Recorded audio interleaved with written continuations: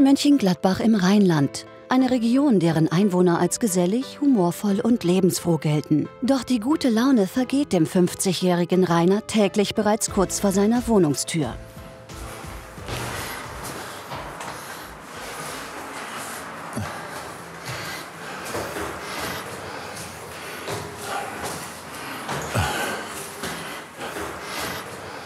Und hier muss ich dann Pause machen.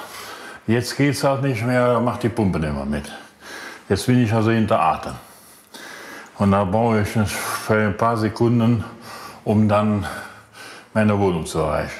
Was ist denn, wenn ihr einkaufen fahrt? Wer trägt denn die Sachen nach oben? Am Anfang habe ich noch immer die Sachen hochgetragen. Mittlerweile warte ich vor, vor der Türe, rufe meine Kinder zu Hilfe. Vorher hinaus muss ich sagen, wir haben nette Nachbarn, die auch schon hin und wieder mal gesehen haben, dass unten ausgeladen wird. Und äh, die dann mich auch helfen. So ja, eine 70-jährige alte Frau ist besser auf den Beinen wie ich. Gibt einem zu denken. Bestellt dich sowas? Ja, man kann schlecht, man sagt zwar dann Danke, haben mich nett geholfen, aber im Endeffekt ist das ja nicht richtig. Man müsste umgekehrt sein. Und das muss ich ändern. Ne? Da müssen die Funde weg früher. Ne? Das ist das Ziel. Eben eine Tablette nehmen. Ohne Medikamente kommt Rainer kaum durch den Tag. Der Kraftfahrer ist nicht nur dick, er ist krank. Das fängt mit Herzrhythmusstörungen an, Bluthochdruck und dann halt die Lymphstau in den Venen und Wasser in den Beinen. Das Herz schafft nicht mehr, das Wasser richtig abzupumpen. Dadurch muss ich Wassertablette nehmen, die natürlich wiederum dazu führen, dass man nicht mehr so ein richtig normales Leben führen kann. Die Last seines Übergewichts muss Rainer nicht alleine tragen. Seine Familie gibt ihm Rückhalt. Doch wo Frau und Kinder ohne Reue zum Nachmittagskuchen greifen, wird sorgloses Schlemmen für den Familienvater immer mehr zum Risiko. 100 Kilo wären bei seinen zwei Metern das Normalgewicht. Rainer wiegt das Doppelte. Vier Zentner, die dem 50-Jährigen bereits erhebliche Probleme bereiten. Und das nicht nur beim Treppensteigen. Die größte Problematik hier ist halt die Dusche. Äh, die ist ein bisschen beengt. Wenn ich jetzt hier reinsteigen muss, dann ist das sehr eng hier. Ach du Scheiße. Jetzt habe ich das Wasser angestellt. Daran sieht man, wie eng das hier ist. Herr Reiter, wie lange dauert denn so eine Dusche dann morgens? Äh, die dauert dann manchmal auch eine gute halbe bis dreiviertel Stunde, bis, bis man fertig ist. Halt, ne? Ja, und das ist halt das Problem hier. Und halt da drauf aussteigen. Ne? Man muss ja so gut festhalten, bevor, außer dass man dann ausrutschen könnte. Der Risikofaktor Übergewicht macht aus dem Vater ein Sorgenkind. Sohn Alexander ist elf und kann kaum hinsehen, wenn Papa sich hinsetzen will. Hier um, ums Stuhl so zu sitzen ist natürlich für mich erschwerlich. Dann muss ich natürlich schon gucken. Ist alles sehr, sehr beengt. Wenn wir hier spielen, dann, muss er, dann sitzt er hier so, sagt, boah, nee, ich kann nicht mehr, muss erst aufstehen und dann denke ich mir nur, jetzt muss wir wieder Pause machen. Das ist dann halt fast je, jede halbe Stunde so. Und ja, das finde ich halt dann nicht so schön. Würdest du es deswegen gut finden, dass der Papa ein bisschen Ja. abnimmt? Auf jeden Fall. Dann könnte er auch, auch zum Beispiel Fitness machen. Wenn er nicht schon wieder in die Lage, wo er jetzt, jetzt ist, kommt, sollte er abnehmen. Machst du dir ein bisschen Sorgen um den Papa? Ja. Warum? Sehr viel Sorgen. passieren? Warum Ja, hast du Sorgen? er, wenn ich sehe, wie viele Tabletten er einnimmt, da schon krass. Oh, Alexander. Oh. Alles. Und darum muss das sich ändern. Das ist jetzt der Punkt angekommen, wo die Funde auch weg müssen. Damit wir wieder gemeinsam auf Fußballfeld gehen können und mal kicken können. Ne, Jung? Ja. Alexander, was macht dich jetzt gerade so traurig? Ja, einfach, dass er könnte halt sterben, weil wenn ich sehe, wie viele Medikamente er fast jeden Tag einnimmt, das ist schon nicht schön, weil ich habe Angst, ihn zu verlieren und ist ja klar. Ja, das, das wird nicht passieren. Da, dafür werden wir, werden wir das, das schon hier alles hier kriegen. Ne? Ich hoffe, ja. Ja, bestimmt.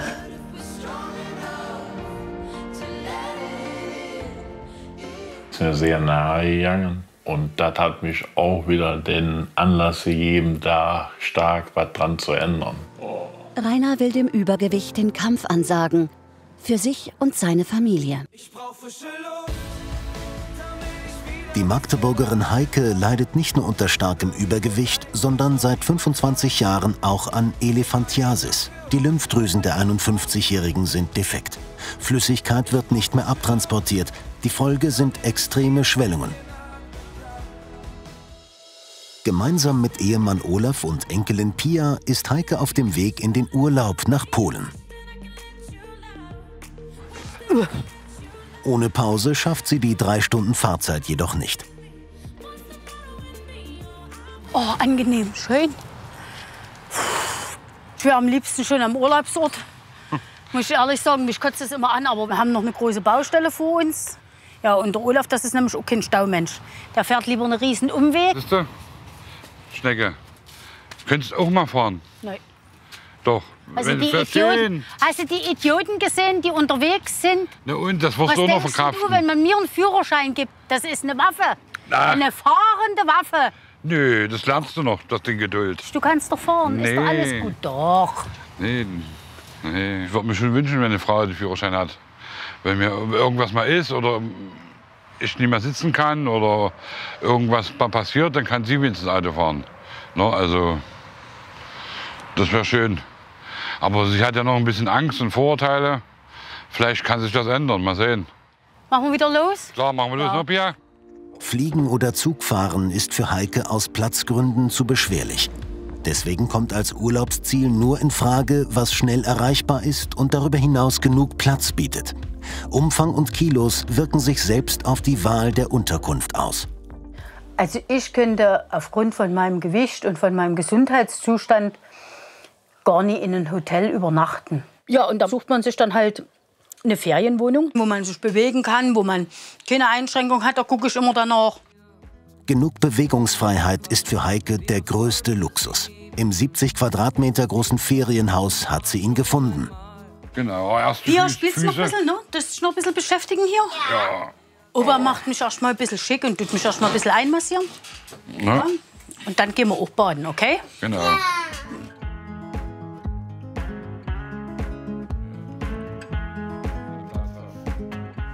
Hoppla! Die Füße erst mal hoch, langsam. So. Eins, zwei, drei. Hopp. So. Die Massage ist wunderbar.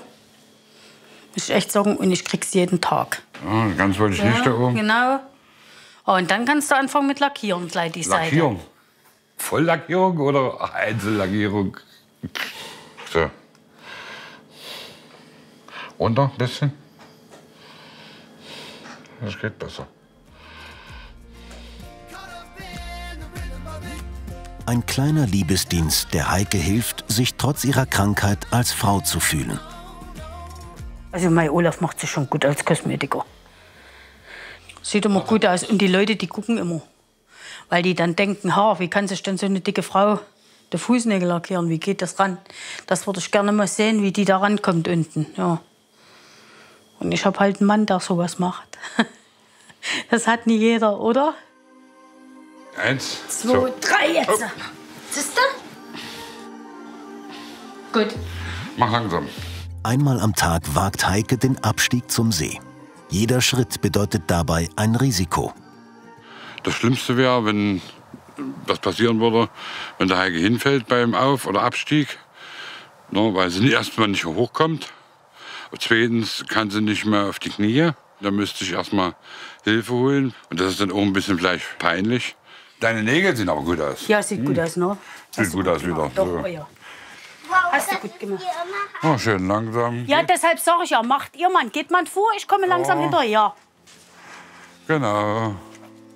In ihren schlimmsten Zeiten war Heike sogar auf einen Rollstuhl angewiesen. Heute ist sie dankbar für jeden Schritt, den sie allein schafft. Ich gehe ein bisschen im Schatten. Ich muss ein bisschen, weil ich nicht kreuz und quer, weil hier ist es ein bisschen eben runter zu. Meine Angst zu fallen ist hier sehr groß, weil ich niemanden habe, der mich, der mich wieder aufhebt.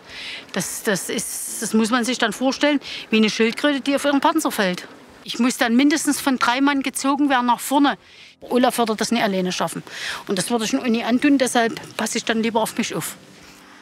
Oh, hast gleich geschafft. Oh ja doch. Ja. Aber es geht. Je öfters man es macht, Ja. besser ist es. Ich setze mich ein bisschen hier hin. Ja. Geh weg. Ups. Geh weg, ist alles gut. So, nicht, dass ich draufsetze. Nee, Deswegen. nee, ach, schon mal unten. Schon mal unten. schön mit Ruhe. So. Ja, spielst schon Bier? Für Heike ist das kühle Nass ein No-Go. Denn die defekten Lymphdrüsen beeinträchtigen auch die Immunabwehr. Ich kann nicht in einen See oder in einem Naturbad baden, weil durch meine Krankheit kriege ich dann eine Entzündung in die Beine und das zieht sich dann im ganzen Körper rein. Ich kriege wunde Stellen und ich weiß dann gar nicht, wo ich überhaupt noch anfangen soll zu cremen und zu machen und abzudichten oder. Und dann lasse ich das. In über zwei Jahrzehnten hat die 51-Jährige gelernt, sich mit ihrer Krankheit zu arrangieren. Ich bin schon zufrieden, dass ich hier sein kann, dass ich hier unten bin am Strand, dem Beeten dazu gucken kann. Ja, und wenn mir es dann zu warm ist, dann dippel ich wieder hoch. Ich muss deshalb trotzdem auf nichts verzichten. Dir gefällt's, Wapier? Ja, nicht nur die Bier. Dir Mama. auch? Ja, logisch. Aber Aber du mein, hast, du hast auch ganz schön zu tun, hä? hier ja, hochzukommen. logisch. Und das Ding alles sehen hier. Geht's? Soll ich dich festhalten? Ja, kannst du mal. Ja. Na, eins, zwei, drei, hopp. Eins, zwei, drei, hopp. Brauchst bestimmt auch Gehhilfen, Ja. oder? Nee, heute nicht. Lachen, wo andere sich beschämt zu Hause verkriechen. Weder Heike noch Olaf empfinden Übergewicht als Makel und stehen dazu. Schön verpackt kann jeder gut aussehen. Und meine Frau ist gut, sexy im Ballanzug. Warum nicht? Man muss sich nie verstecken. Es gibt ja sogar, es gibt ja sogar für meine Größen Bikinis oder Tankinis und sowas. Aber das tue ich mir halt nie an. Das muss nicht sein. Schöner Badeanzug, ein bisschen was gesittet und ein schönes Hängerchen drüber. Bin ich voll zufrieden. Ja, ich mag es eben ein bisschen straff. Also korpulente Frauen. In guten wie in schlechten Zeiten. Seit 30 Jahren steht Olaf seiner Frau treu zur Seite, egal wie viel sie wiegt. In der Pfalz haben sich Julia und Andreas versprochen, gemeinsam schlank zu werden. Vier Jahre dauert ihr Kampf schon an. Ich habe sehr große Angst zu sterben, weil ich mich halt wirklich zu Tode frisse. Statt glücklicher Zukunft droht das Beziehungsaus. Wenn sich an dem Gewicht nicht viel ändert, denke ich nicht, dass es eine weitere Zukunft gibt. Andreas Kampf gegen sein Übergewicht begann mit einer Magenoperation. Anfänglich konnte er sein Gewicht halbieren, doch in den letzten Monaten nahm er wieder zu. Längst hat das Ungleichgewicht beim Abnehmen die Beziehung in eine gefährliche Schieflage gebracht.